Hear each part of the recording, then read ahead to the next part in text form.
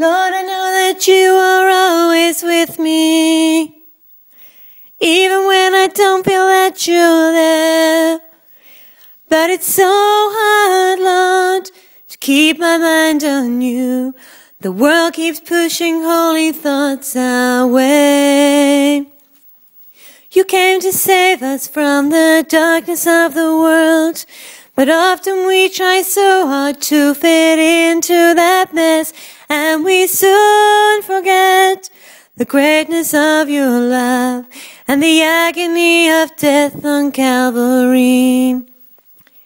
It must break your heart to see us be so shallow and so petty over things that are not yours and of things that are to take them so for granted.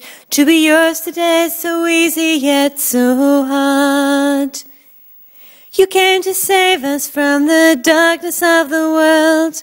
But often we try so hard to fit into that mess. Why must we disregard the greatness of your love and the agony of death on Calvary?